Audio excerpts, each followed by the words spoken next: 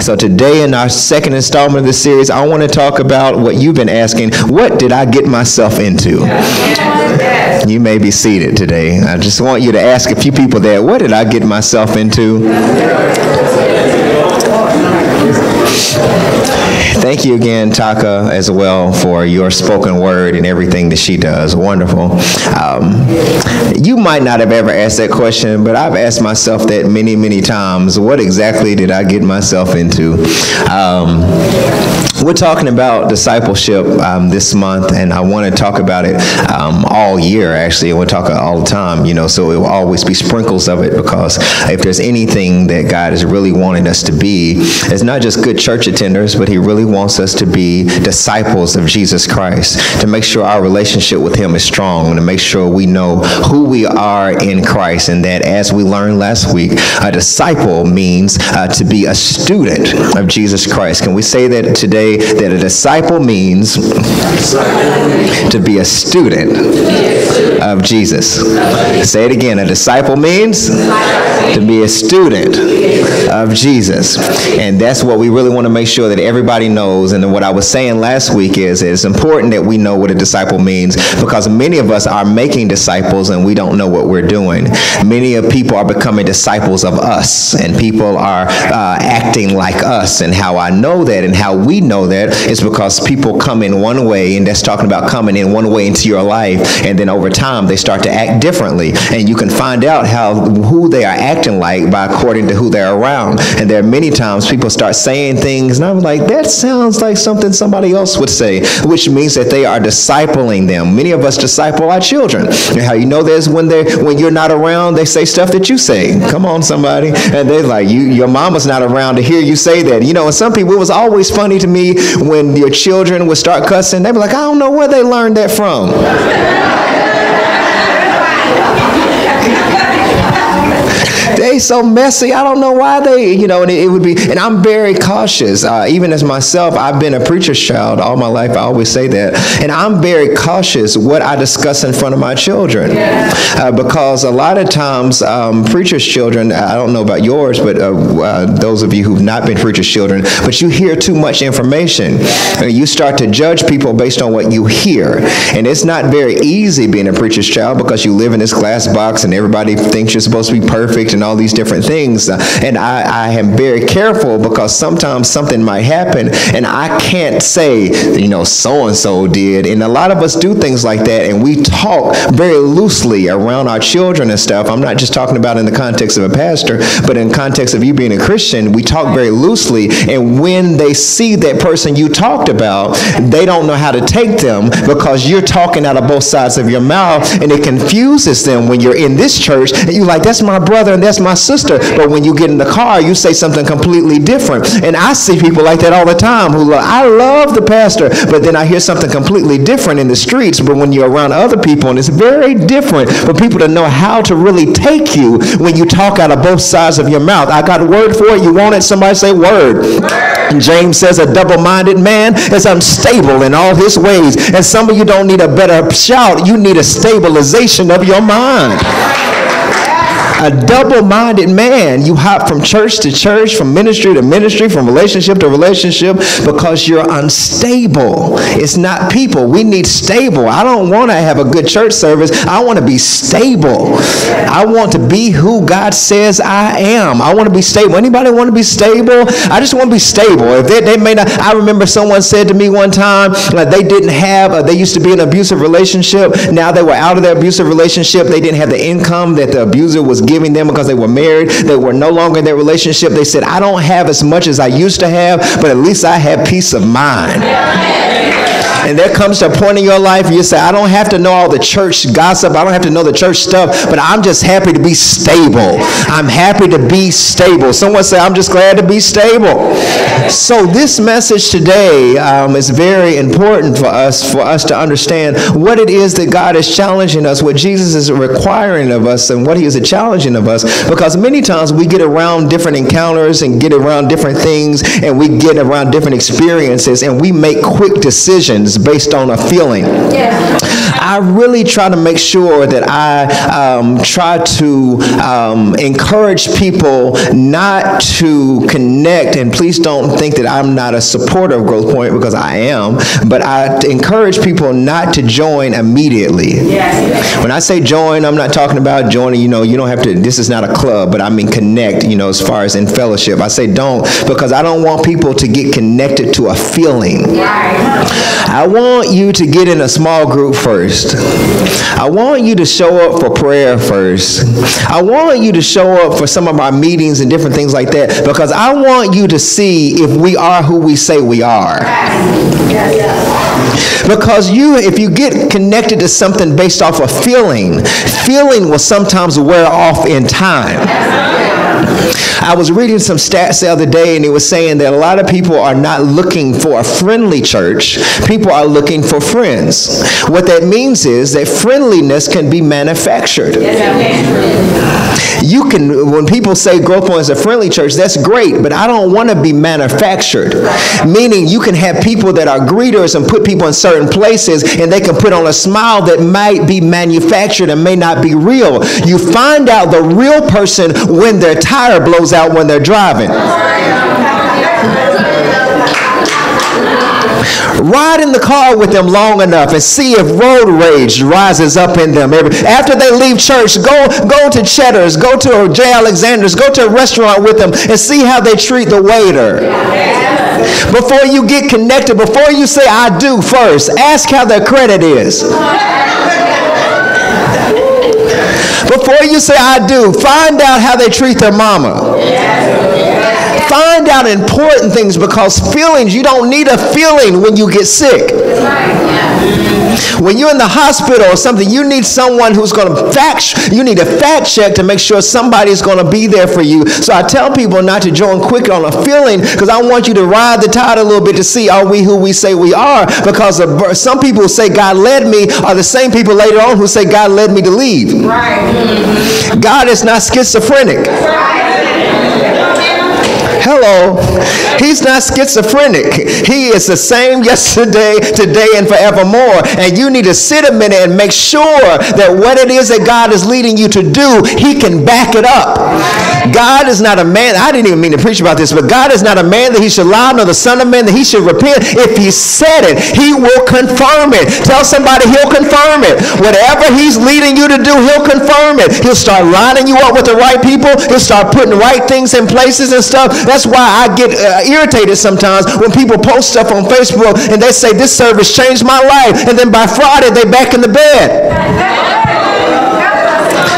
Have mercy. Because feelings can confuse you. Feelings can give you an arousal, but it doesn't sustain you or deliver you. But if you're really changed, you'll go to that joker and say, I can't do it no more because something happened in my heart. It ain't emotional thing. It's a realistic. All right, praise the Lord. I get passionate about that thing. But I'm saying it's very important to us that we understand what we got into. That salvation, and even those of us who get baptized, we get baptized and then we think that's it. Or we get saved and we think that's it. Or some people join a ministry like this and we say, that's it, I've joined, I don't do anything but sit. But there's something that God is requiring of us, and we need to know what it is that He's required of us. So, in this particular thing, I believe that there are four areas that we are tested in all the time. These are the four areas that I'm going to talk about that we are tested in in this scripture today, and I want to talk about that. Y'all want to hear it today? Y'all ready for it? I said, Are y'all ready for it? I won't give it to you either way. So we're going to go four areas that I believe that God is challenging us in today. So I'm so grateful to, for this time to be able to share this with you today. So here in this particular scripture in Luke 9, it says that as they were going along the road, someone said to him, someone said to Jesus, someone said to him, he said, I will follow you wherever you go. Now, one particular version, I don't know if it's Mark or Matthew, that says that, that a disciple came to him. That this is not one of the 12 disciples, but a disciple, and one, one of the commentaries said a casual disciple, came to Jesus and he said, I will follow you wherever you go. Now, the background of this is that a lot of times after Jesus did miracles and after Jesus performed works, people would then say, Because you did something miraculous, now I want to follow you. And that's what a church experience is for many of us because something miraculous and something emotional happens. Now people say, I'm with that. I want to be connected to that because you got goosebumps on top of your goosebumps and it made you feel really good and your weed was getting lifted off, but you had it real tighty with a skull cap. So there was something that was going on in your body that couldn't handle the glory of God, praise the Lord. And you wanted to make a sudden move, and that's what people do after they saw Jesus feed 5,000, after they see Jesus raise up somebody from the dead. They saw that, and all of a sudden they said, I'll follow you wherever you go. So this person came up to Jesus. Jesus did not ask him to follow, but he came up to Jesus. He said, I will follow you wherever you go. And Jesus did not say, Good. Jesus did not say, come on. Jesus did not say good. Because a lot of people say stuff like that when people say, I want to connect to a growth point. People are like, oh, good. We're so excited. I'm not any more excited anymore because I'm not interested in numbers. I'm interested in soldiers. Yes. We don't need anybody else to sit on the pew. We got that covered. I need somebody in the prison. I need somebody to go over there to the, the triple X store or something and grab people out and tell them put the X's down and pick up the blood of Jesus Christ. I need somebody who's not going to be messy but Christian at the same time. I need somebody who's not going to be gossiping and lying and tweeting the secret text messages and that you will be able to grab people and say, let me show you something that has changed my life. I ain't concerned about numbers. I'm concerned about change. Someone say change. change.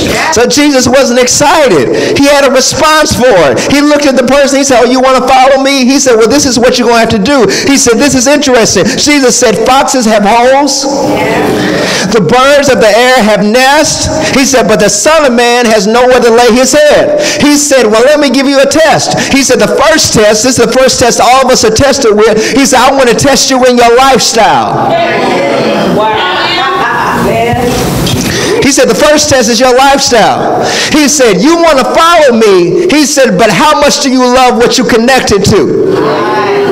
He said, because if you want to follow me, he said, foxes have burrows or foxes have holes. And, and burrows are like, they are underground rooms. And they take their, their families into these rooms. And, and while they are being hunted, they take their families into these rooms where they're able to hide. He said, you want a room. He said, but my very nature, I am the son of God. When I was born, they couldn't even find room to birth me. And you want room and you want accommodations and you want the Ritz Carlton and you want it laid out for you. But my mother who bore me and was carrying me for nine months couldn't find anybody that would give me a place. They had to have me birthed around animals. Are you ready to be born around dirty things? Are you ready to be born in stalls? If you're not ready to be born in dirty things, you ain't ready to follow me.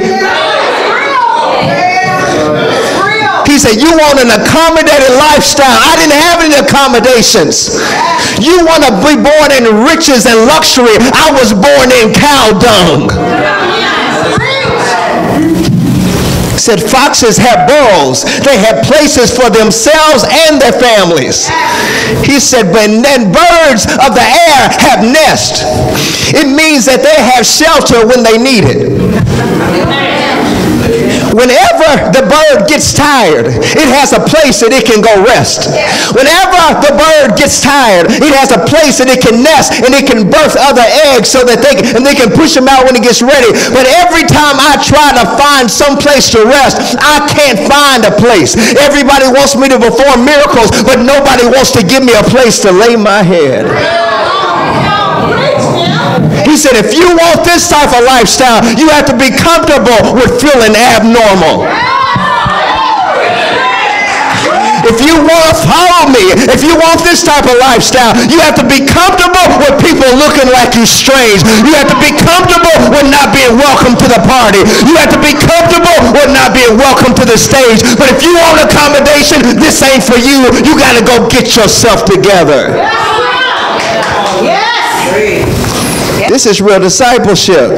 He said, Foxes have burrows, foxes have holes. He said, The birds of the air have nests, but I don't have any place to lay my head. He said, Your lifestyle's going to be checked. Your lifestyle's going to be challenged. And some of you are not willing to allow your lifestyle to be checked or challenged yet. That, he didn't stop there. So after that, that's one thing. Somebody say, That's one thing. And that's hard enough. After that, he said another one. Then that's, that person came to Jesus. The next person Jesus looked at, and Jesus said to this person, He said, Follow me. I feel this all in my socks today. Praise the Lord. He said to him, Follow me. But Jesus said, not Jesus, but the, the disciple, the person he was trying to disciple said, Well, first, oh, hold on one second. I want to thank God. Mama Joyce was in the hospital a few days ago. We're so happy that she's here today and that she's feeling well today. So we want to give God glory for that. I'm sorry. Someone told me I, I just interject stuff all times. I think that's the pastor of me, the country part of me. Anyhow, he said in verse 59 says, Another he said, Follow me. But Jesus said, Lord, not Jesus, the person said, excuse me, the person said, Lord, let me first go and bury my father. The second thing you're going to be tested in is your identity.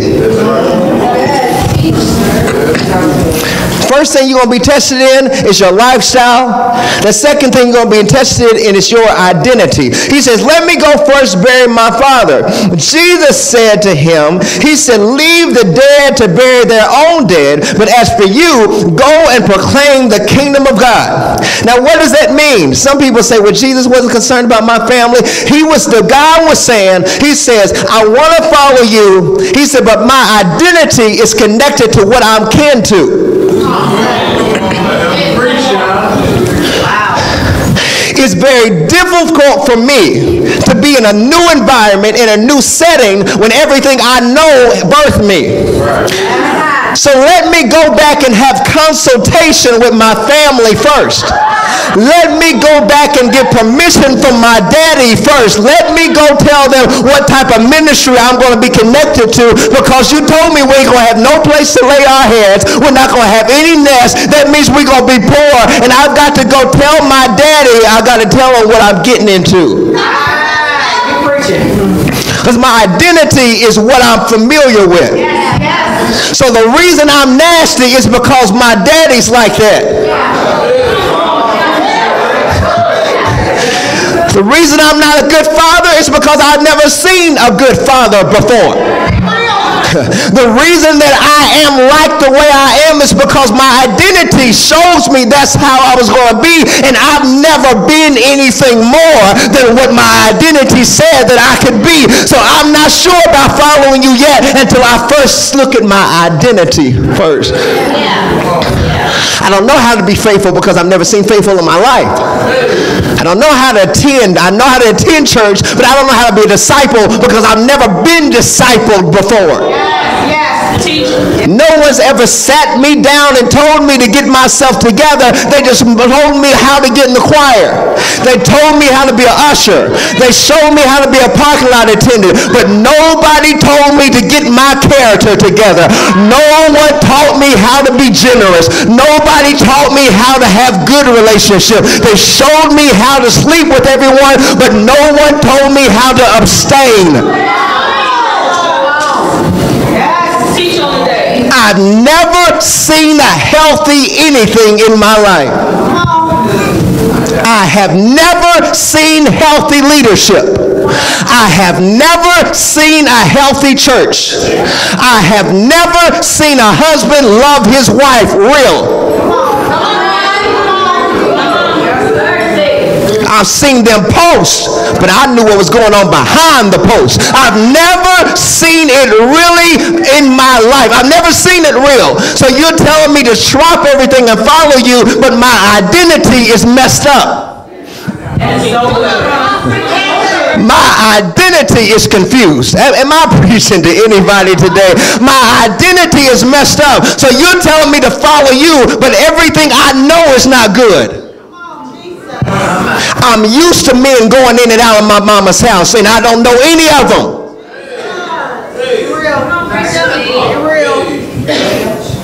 So when she tells me to be faithful to somebody, I'm like, but mama, you weren't faithful.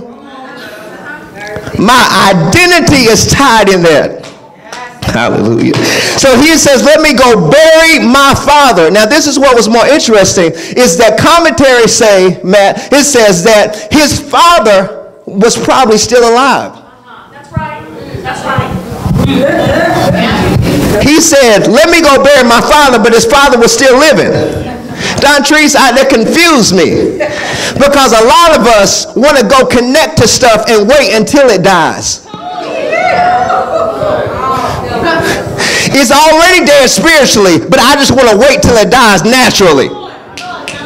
And a lot of us stay in relationships longer than we're supposed to be in relationships. And we stay in friendships longer than we're supposed to be in friendships. It's been dead before you buried it, but you're waiting for the last breath to come out for you to say, oh, I think it's over now. I feel like deliverance is happening right now while I'm talking. Ain't no music, ain't no oil, but it is coming to a, a graveyard near you. He said, Let me go first bury my dead my father. He said, My father's not dead, but what he was saying is he's gonna die. And when he dies, he might have an inheritance for me. And there are some of you who you think that even though it's a bad situation, you think your bad situation is going to eventually change. You, you, you make it seem like a, a princess and the frog.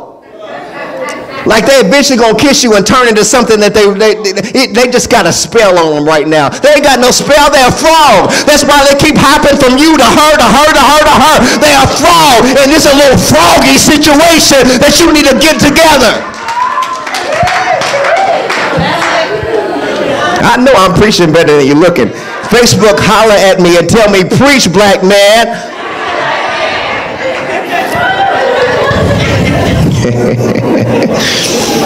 so he said he could have had a challenge, but then Jesus, when Jesus said this, Jesus responded, and Jesus said, Leave the dead to bury their dead. He said, This is what's challenging, Shalon. He said, Leave the dead to go bury their dead. He said, But you go preach the gospel.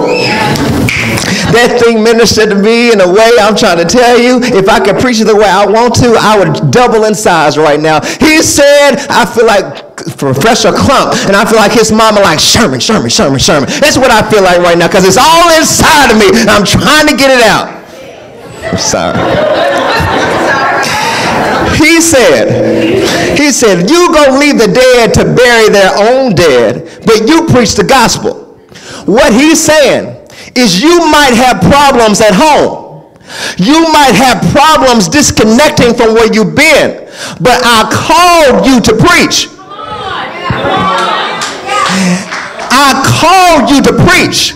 When I call you to do something, I don't ask you what you connected to. When I call you, that means disconnect from whatever you connected to and do what I tell you to do. You're always going to have something going on at home, but you need to learn how to preach through it. Minister through what you're going through. For all of us who keep saying, I'm going through so much, that's why I can't be used. You got to go through and still be used. Sing with tears coming down your eyes. Pray with pain in your body. Fast and be hungry. But do no matter what, do not drop the call. He said, bury that. He said, but you've got to preach. I've called you to minister. While you are waiting to bury something, somebody needs to be saved. Why are you making an excuse for the relationship that you're in that ain't going nowhere? There's a sister who's looking at you trying to find out how to be a good woman, but she can't be a good woman because you can't tell the truth that what you're in is not working.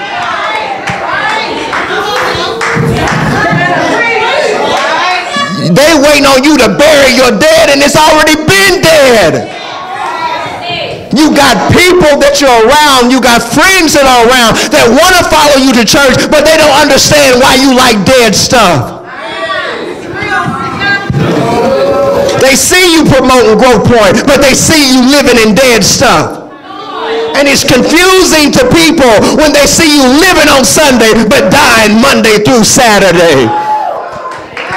It's confusing to people when they think that having a church friend is going to be their best friend, but then they get the best friend, and the best friend turns into Mr. Jekyll and Mrs. Hyde, and they're confused because they say the world was like that. I didn't know the church was like that too dead stuff. He said, I called you to preach. I called you to minister. And for some of you saying, I ain't no preacher, all of us are ministers. How do I know this? Because people quote what you say. You are preaching with your post. You are preaching with your Snapchat. You're preaching with your Instagram. You're preaching with your YouTube channel. You are preaching in the sheets, actually. That's why people want to get in it all the time. Because every time they get in it, they come out with something. That's what preaching does. It gets you something. The ideas, but are you preaching them to Christ? Or are you preaching them to be messed up? I know I'm preaching it here today. He says, leave the dead to bury their own dead. He said, but you preach the gospel. Someone say the gospel. The gospel means that's the good news. People need good news. They need people want to change, but they can't change until you make up your mind. People can't change because we were, my wife and I were driving today. We were leaving the gym and uh, we were seeing somebody. And it sometimes I, I, think about, I see people walking sometimes and it bothers me. And I know we're living in the day and time, Mr. Jeff, where you can't pick up everybody. But sometimes I just feel that pull. You know, I'm just like, you know, I want to pick them up. So I was driving with Darius one day and we saw some people walking and, and I was going pick. He said, Daddy, he said, can you pick them up when I'm not in the car?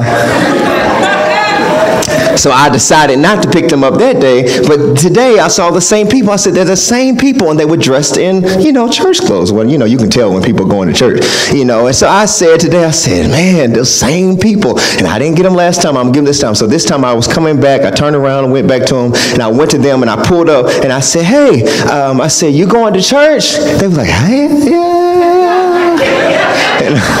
and I said, uh, I said, would you like me to take you to church? They said, no, exercise. I said, oh, okay. Because they were African. I didn't know that they were African until they started speaking. But what, for them, but had I not done it, I wouldn't have known that they didn't need it. Yeah. And there are some of you who you won't even ask, does anybody need help? And you don't know if they need it or they don't need it. So we just drive past issues and never say anything. But it's better for you to ask, are you hungry? And for them to say, no, exercise. Instead of you not saying anything and walking by and never knowing. You cannot tell me that there aren't at least 10 people in your phone who you need to invite and you need to minister but you're too scared to do it. You can't tell me that. I don't believe it. I don't, I don't, I can't think of anybody I need to minister to. You can't think of anybody because the first you got to minister to yourself before you minister to anybody else. And if you're not ministering to yourself, you can't minister to anybody else. But once you minister to yourself, you got a right to tell somebody. When somebody loses weight, you better believe they're going to post and say, I used to be this size, but look at me now. And what he did for me, he can do the same thing for you. Nobody loses weight and goes undercover.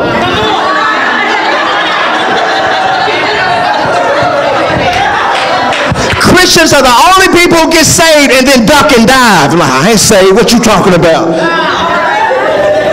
People lose weight. They were, I'm telling you, it's summertime. Just go out to the beach. Stay out there like I used to wear. I used to wear one piece, but baby, I got the two piece on now. But now everybody who gets saved, you can't even find the Bible in the house unless it's Gideon's. And I don't want to ask you where you got that from. Praise the Lord. Thank you, Jesus. Y'all help me. Pray for me as I grow strong in the Lord.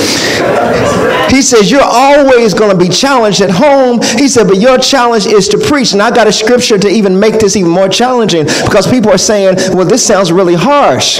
It's not harsh from the sense of you need to find your identity in Christ. This is what this scripture says. I got this scripture for you, Luke, the 14th chapter. He goes further. Jesus said, If anyone comes to me, hear this, and does not hate his own father and mother and wife and children and brothers and sister and yes, even his own life, he cannot be my disciple.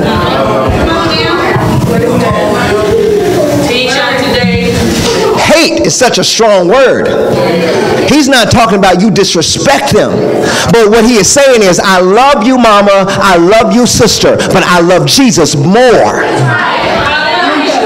And what I'm saying to you, that this is not a family plan.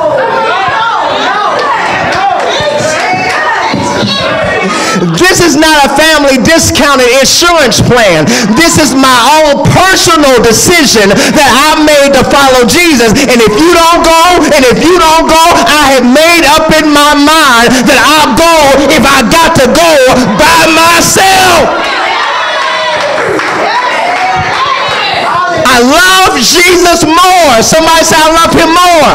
If you don't shout, that don't mean I won't shout. If you don't run, that don't mean I don't run. If you don't forgive, that don't mean I don't forgive. Just because you taught me to hate on people doesn't mean I'm going to pick up that bad trait. I love Jesus more than anything who does not hate his mother, his father, his sister. And you say things like, well, my father's in church. My mother's in church. And you can be in church, but not in Christ. Woo, Jesus. I feel like jumping in this baptism pool myself. I'm saying you can be in church and still not ever have a relationship with Christ. Be in church for years and never change. Sit here, nod your head, say hallelujah, rotamante all of those different things, and never give your life to Jesus. How I know it is because I've seen it. Some of the nastiest, most rudest people I know, Usher. Not here, not at Growth Point. They are the nicest I have ever seen. Give a shout out to our personal touch, our greeters, all of them, because I don't want to start no riots up in here because I'm losing weight and I can't fight y'all like that. So I want to make sure, and mama told me never put my hands on a woman. So I want to make sure y'all give them a shout out. They're doing the best job. Hallelujah. But I have gone to some ministries and they are the nastiest people. Y'all seen them? It's probably your granddaddy. You know, they come to the church.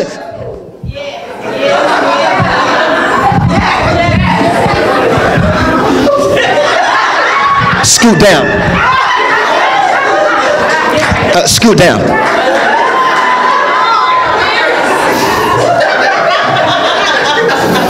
Can we bow our heads in prayer? Amen. They are so mean. And I'll be sitting there, and then they quote, I'd rather be a doorkeeper in the house of the Lord. I'm like, you ain't in the house of the Lord. Want to say, who left the gate open? Lord to Jesus. so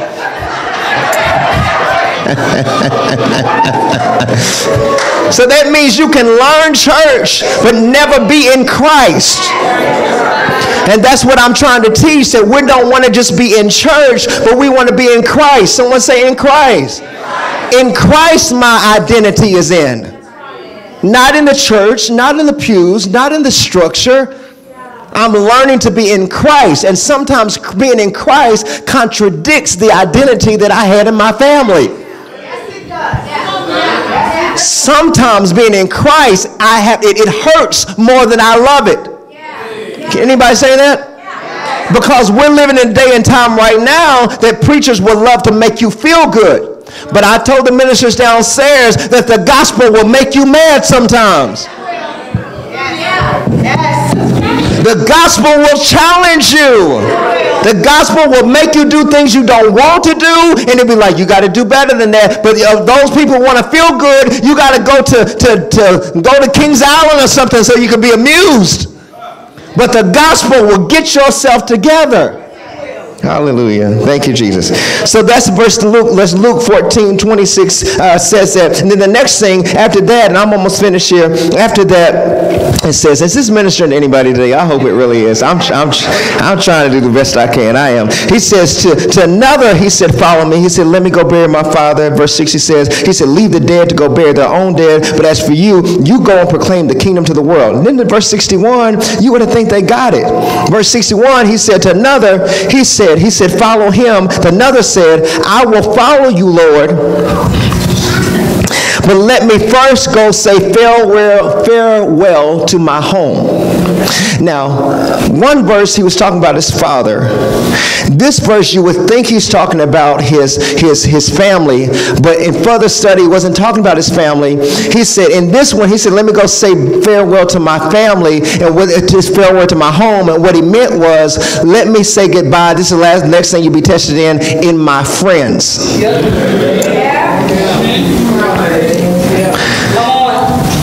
I'm tested in my lifestyle.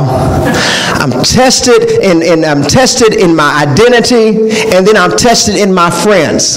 He said, let me first go say farewell or say goodbye to my home. And there are some of you who got just this one part twisted.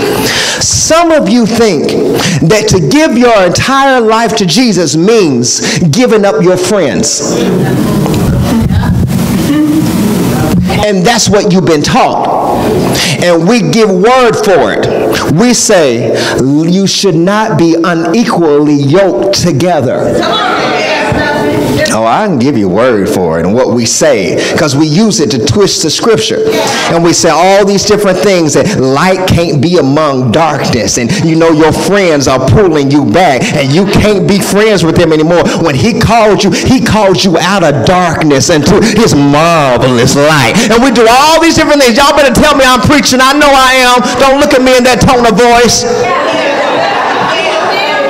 We say these things. You better come out of darkness and come out from among them and be ye separate. And y'all know what I'm talking about? Facebook, you know that's why you go to log out. You better not log out. You know you're the one who said it. We say these things, come out from among them and be ye separate. And what happens is you leave your mission field.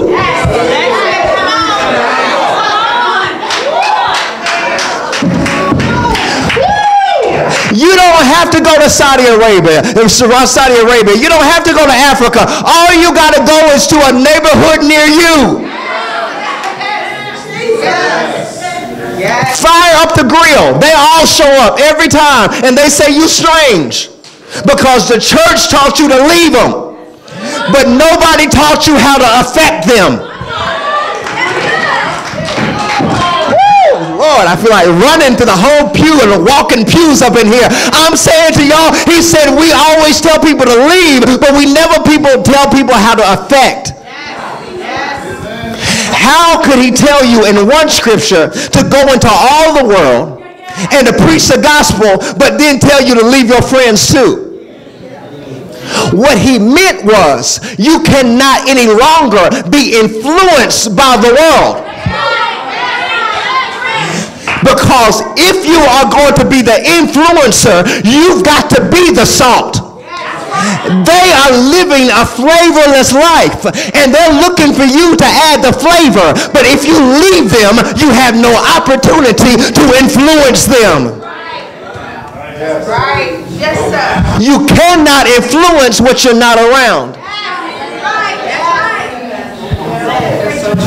You cannot be light if there is no darkness. And I preached this one time before. Many of us have learned how to be other among other lights. I was at Brother Matt's house. Uh, the men, we were there. We had a great camping trip. We're going to do it again one day once my back gets together. But we had a good time at, our, at the camping trip. But uh, there's lightning bugs out there, lightning bugs out there. And what was interesting is when you're in the city, you can't see lightning bugs because there's a whole bunch of lights. But when we got out into the country, the darker it got, the brighter the light. The darker it got, we said there's so many lightning bugs out here. The thing is, they're everywhere, but you can't see them if there's a bunch of lights. And there are people that you're connected to that are living in darkness, but they are wondering, can anybody shine the light on their life? But they can't see the light because we're more comfortable together. We're comfortable having church talk and not dark conversations.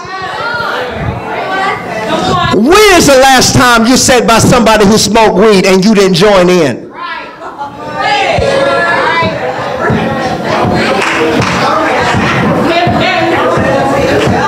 I'm just going to sit there right there for a second.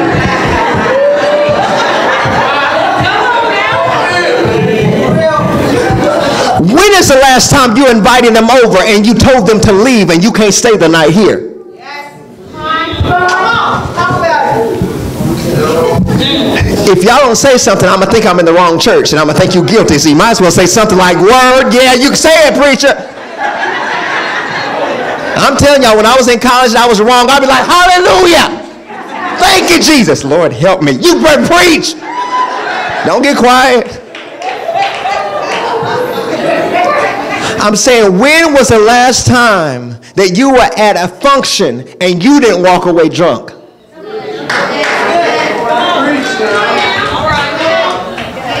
When is the last time that you heard something about a church in the city and you didn't add to the conversation? Some of y'all are looking at your nails. Don't look at your nails, look at your heart. When is the last time? I know I'm preaching heavy today, and I know some people log out like, he be coming for you. I'm coming. I know I'm coming. I'm coming in a Honda. I'm really coming. But there's some people right here that I'm saying that many of us, when we hear things about things going on in the church, instead of us turning down the volume and saying we need to pray for them, we join in. And then we send screenshots to confirm what we heard.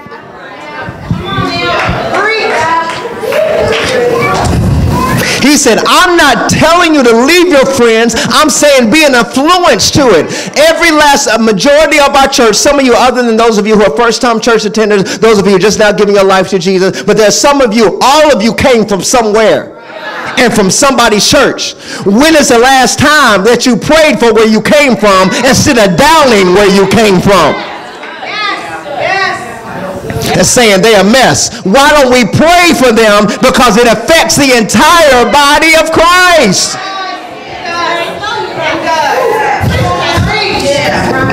He said, let me go say bye to my friends. And what he was saying is, I'm going to say bye to my friends because if I continue, if I live a sold out life, you're not going to let me have no friends.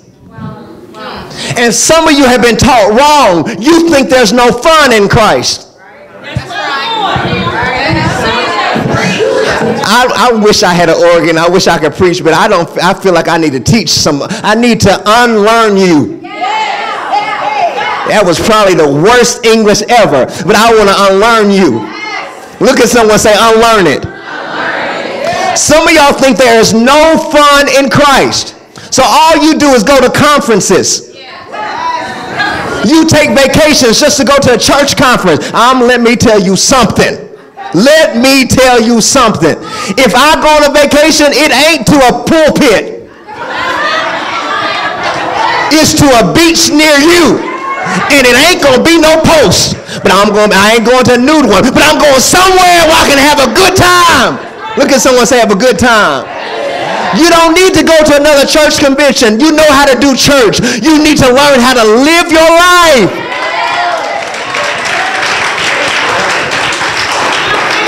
We manipulate people and tell them the only life you got is in Christ. No, Christ came that you might have life and life more abundantly. Go to a movie. You don't have to watch Fifty Shades Darker, but you can find something that you can watch that you don't have to repent for. But some of you, if you can't do what you want to do, you don't want to do nothing at all. Jesus came to change your identity, so you're going to have to learn how to do it better than what you were doing it before. So if you don't smoke now, find out something else to do. Play cards. Saints don't play cards. The devil's a liar. I love Uno.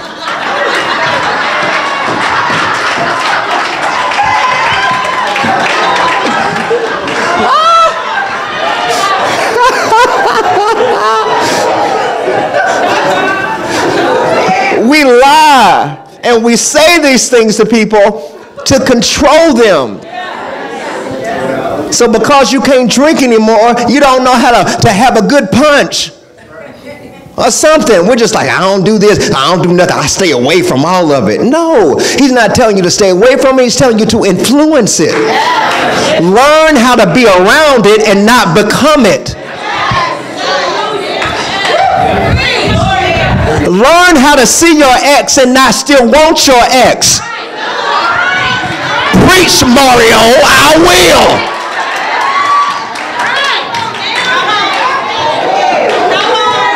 Stop allowing it to rise up in you every time you see it. Something just comes over me. Well, let him come over you instead of him come over you and then you regretting what you did.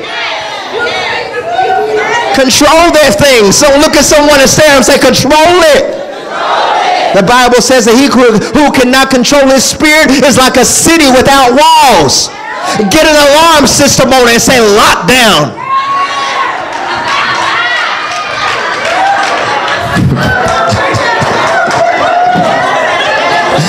I don't know what to rate this message today. Y'all pray for me.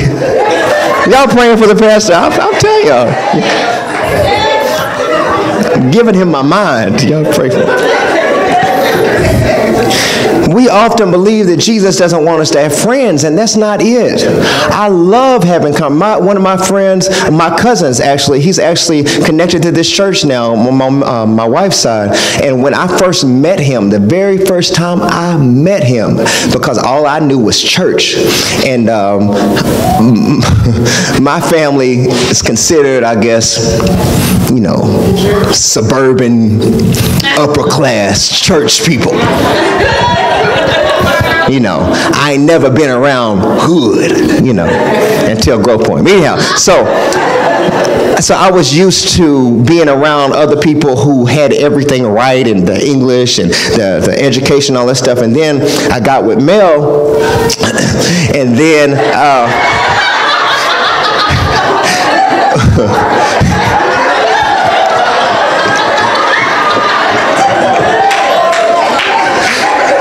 so um, and I blame it all, all, on Gwen. It's all Gwen's fault. But anyhow, so I um, went to um, I introduced her to my family. You know, you know, had to, and my friends. You know, she had to make sure her tire was right. You know, for that all that.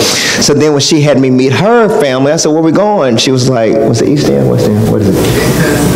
South End. South End, South End, but it was like a borderline West End too. But anyhow, so I was down there. ain't no shout outs to those of you who live on there. Anyhow, but I was down there at South End, you know, and um, when I walked in, you know, Aunt Katie like, what's up, nephew? You know, I was like, what?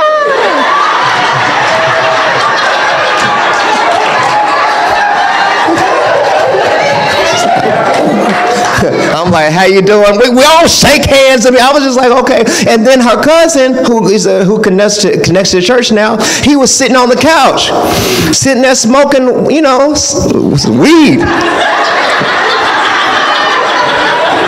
I'm sorry, Mother Higgins. I'm not trying to I'm just saying what it was. So he's sitting there smoking. I'm like, all right, how you doing? hey, you know, and then he's sitting down. It confused me because he was sitting down smoking weed with grandmama's Bible open. I'm talking about grandmama's coffee table Bible. The one that has the funeral programs in it. The ones that got all the marriages in it and all the deaths in it. That one. Y'all know that one. So he's sitting there smoking, and then when I sit down, he said, um, Let me ask you about the history of the church. Smoking. Let me ask you about this scripture right here, Job 4. He just started talking. I was just like, because in my church mind, I had already judged him.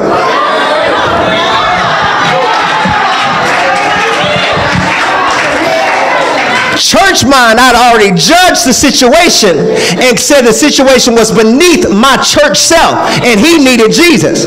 But when I left the conversation, I wanted to go back and study and say he knew more than I knew and he was high. And I'm saying that you're disqualifying people who know more than what you think they know. And the reason you don't talk to them is because you don't know what you don't know. He had talked to many other pastors before me and said that he couldn't talk to pastors because they shut him down and said that he was weird and strange. But I was the first person who did not judge him and listen to him. And this cousin of mine was ushering with the men a few Sundays ago.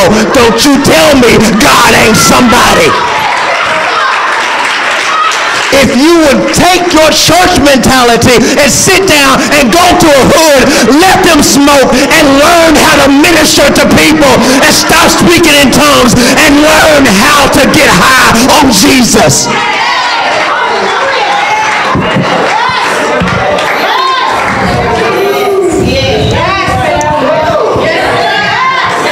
That's discipleship.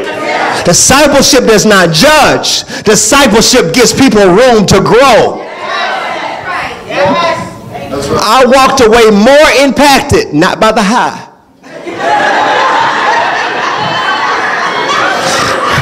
now I did walk away like I feel good. I was like, we can go visit anytime. That's how I felt, Mel. Don't judge me. But there's some of us you would rather be around other church people and talk about churchy stuff. And ain't nobody impacting anybody. Nobody is changing. No one is being impacted because we are doing is just transferring information back to each other to see who is the deepest among us.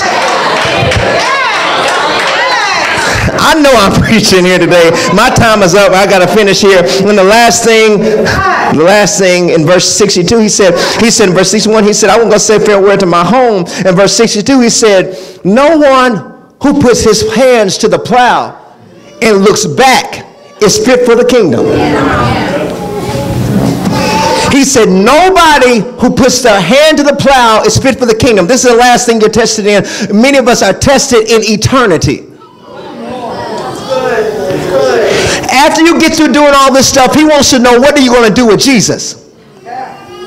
He says, No one who puts his hand to the plow and looks back is fit for the kingdom. And what that meant was, no one who says they're going to do something and then turns around and does something else is fit to be my disciple.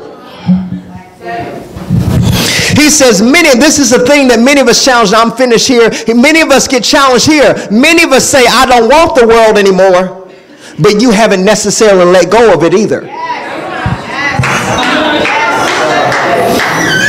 You say, I don't want to go back, but you haven't disconnected from it yet either. I don't drink anymore, but the bottles are still in the house.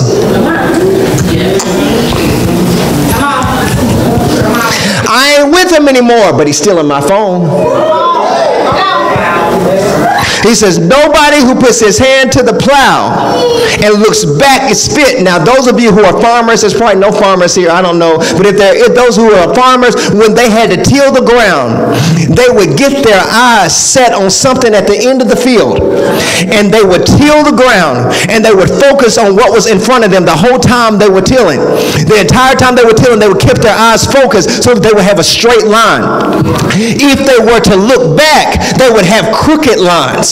But they had to keep their eyes focused on what was before them. You want word for it? I got word. Somebody say word. Here is the word for it. Philippians 3.13. Brethren, I do not count myself to have apprehended it all. But one thing I do, I forget the things that are behind me and I reach forward to those things that are before me. I press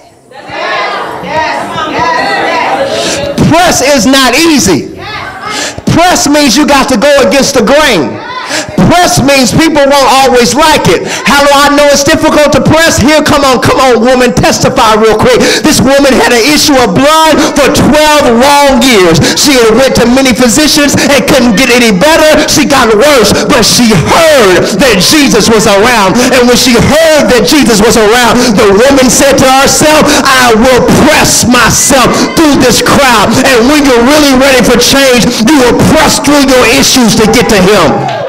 When you're really ready for change, you will press through your identity to get to him. When you're really ready for him, she said, I will press through. He doesn't have to acknowledge me. I just want to touch him. And it says, and when she touched him, Jesus immediately stopped and said, somebody touch me. The church people said, a whole bunch of people are touching you. He said, oh, no, no, no, no. This person who touched me pressed through something to get to me. And I want to know, is there anybody here today that pressed through anything to get to church today? Is there anybody who pressed through anything to sit in the seat that you're in today? Is there anybody who pressed through anything to have your right mind today? They tried to mess with you. You wanted to clock on a lot of people, but you pressed your way through anybody pressing. Look at somebody say, I pressed through it. I press through my family. I press through my issues. I press through my finances. I press through my coworkers. I press through my son. I press through my friends. I press through my cousin because I love Jesus and I had to get a touch from him. And the only way I can get a touch is if I press through it. And according to my press, he acknowledged me. And there's some of you that you haven't got healed because you're not desperate enough. But when you get desperate, you'll press through something. You'll look at somebody and say, excuse me, I'm tired of this life. Excuse me, I got to be better. I got to press through it. Look at somebody and say, I got to press.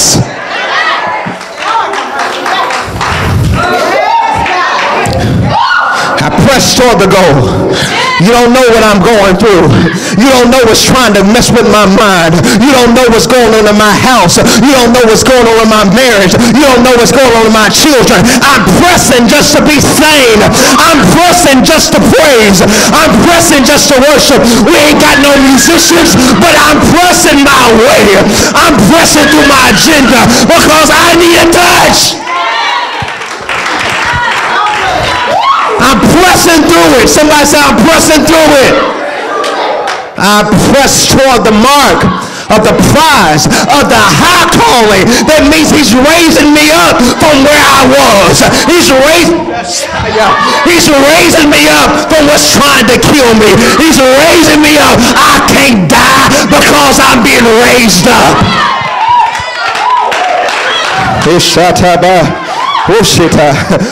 I feel like there's a press praise real quick. Can somebody just open their mouth real quick and give them a press praise? Thank you for letting me be here.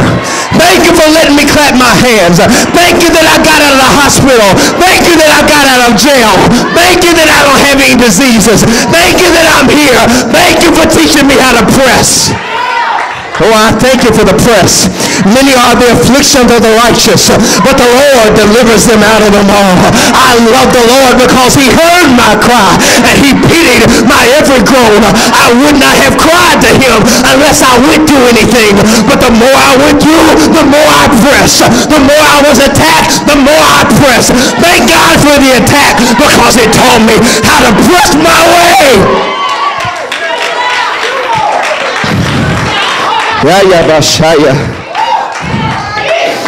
Learn how to press. Everybody stand to your feet. I gotta stop. Thank you for the press. Thank you for the press. Thank you for the press. You thank God for the job. I thank Him for the press. It was the resistance that made me who I am.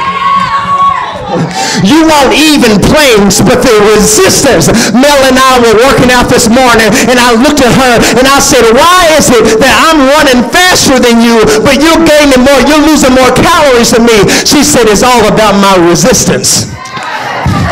And there are some of you who you are sweating, but you ain't losing nothing. You are sweating, but you don't have no victory. You've got to up your resistance. Stop rebuking the devil and say, come hell or high water, I'm going to press. Though he slays me, yet will I trust him. I'm going to praise him. I'm going to glorify him because of my storm. It is good for me that I have been afflicted. That I might learn who he is. Gotta press my way. Oh, I gotta press. Learning how to press. He said, No one who puts his hand to the plow and looks back is fit. Every last one of those people were interviewed, and none of them passed the test. Why, Lucian, did they not pass the test? They couldn't pass the test of lifestyle. They couldn't pass the test of identity. Couldn't pass the test of friends. Couldn't pass the test of eternity. And Kim, all of those words lead up to one word. Go to my next screen. They would not give him their life. All of us are tested in L-I-F-E.